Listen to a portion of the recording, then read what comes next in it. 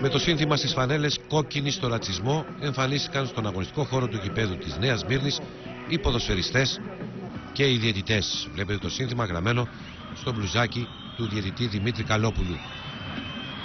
Η Λάρισα κυρίαρχη στο πρώτο ημίρο του αγώνα δημιούργησε την πρώτη καλή φάση με τον Μπακαγιώκο στο 1 λεπτό απέκτησε σε κόρνερ ο Κρέσιτς. Η Λάρισα βρέθηκε και πάλι στην επίθεση. Ο Σαρμιέντο έβγαλε τη σέντρα κεφαλιά του Κλέιτον στο 15. Η μπάλα βγήκε ψηλά πάνω από την αιστεία του Κρέσιτς. Η Λάρισα και πάλι στην επίθεση. Σέντρα από τον Καλατζή στο 21ο λεπτό. Η μπάλα σταμάτησε στο χέρι του Πλέτς, του κεντρικού αμυντικού του Πανιωνίου. Με το κόρνερ η Λάρισα δημιούργησε την πιο κλασική ευκαιρία της στο σουτ του Κατσιαρού. Ο Κρέσιτς απέκτησε στο 22 και ο Λίνεν σκεφτικός βλέπει τις αδυναμίες του Πανιωνίου στο πρώτο ημίωρο του αγώνα. Στη συνέχεια ο Πανιώνιος απείλησε στο 32, ο Μαϊστόροβιτς από κοντά δεν μπόρεσε να ανοίξει το σκορ, απομάκρυνε ο Κοτσόλης στα θετικά αυτή η επέμβαση για τον Στέφανο Κοτσόλη στο 32ο λεπτό, η πρώτη καλή στιγμή για τον Πανιόνιο. Τρία λεπτά αργότερα ο Γουνδουλάκης κινήθηκε στον κενοχώρο και πάλι ο Κοτσόλης βγήκε μπροστά από τον μεσοπιθετικό του Πανιωνίου και ο Γκαλίτσο απομάκρυνε σε πλάγιο out. Η κεφαλιά του Πλέτς στη συνέχεια, η μπάλα έφυγε ψηλά και ο Γουνδουλάκη στο 43 επιχειρεί το σουτ η απόκρουση από τον Κοτσόλη. Λίγο πριν την εκπνοή του πρώτου ημιχρόνου, η Λάρισα βρέθηκε στην επίδεση.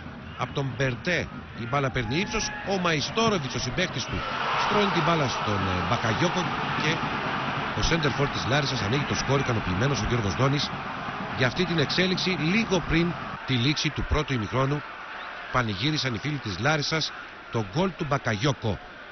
Ο Μαϊστόροβιτς στην προσπάθειά του να απομακρύνει και πιεζόμενος από τον Καλατζή έστωσε την μπάλα ιδανικά στον Μπακαγιώκο δεν άφησε ανεκμετάλλευτη την ευκαιρία ο επιθετικός της Λάρισας.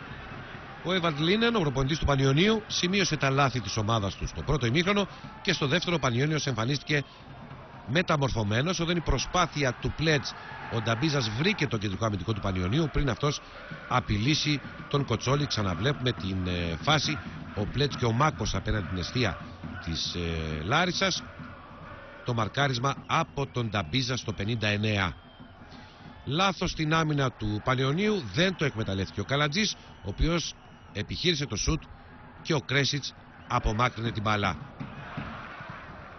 Ο Πανιόνιος βρέθηκε και πάλι στην επίδεση, δεν είχε ευτυχή κατάληξη το σουτ του Κουντουλάκη στο 64 και δύο λεπτά αργότερα η μπάλα βγήκε για τον Σκούφαλη που είχε περάσει αλλαγή, ιδανική πάσα για τον Τσιμπούρ, ισοφάριση για τον Πανιόνιο και το πέμπτο γκολ του Τσιμπούρ στο εφετινό πρωτάθλημα. Ο Κονδουλάκης στην πλάτη της άμυνας της Λάρισας για το Σκούφαλη και αυτός ήδη αμαρκάρισε τον Τσιμπούρ. Ο Πανιόνιος ισοφάρισε στο 66 την ε, Λάρισα. Δύο λεπτά αργότερα βρέθηκε και πάλι στην επίθεση με τον Μαϊστόροβιτς. Η μπάλα έφτασε στον Κουμορτζή. Εστικτοδό ο Κοτσόλης απομακρύνει. Ο Πανιόνιος ανεβάζει την απόδοσή του όσο κυλούν τα λεπτά. Και με το Σπυρόπουλο απειλεί και τον Τσιμπούρ να πετυχαίνει το έκτο γκολ στο εθνικό πρωτάθλημα. Το δεύτερο για τον Πανιόνιο στο 85.